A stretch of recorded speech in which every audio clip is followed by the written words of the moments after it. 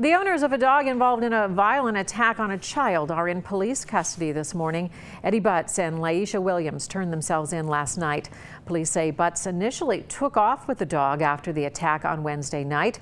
The SPCA now has that dog. Police say their pit bull attacked the girl on Poplar Street in Elmwood Place. The three-year-old child underwent surgery but is in stable condition.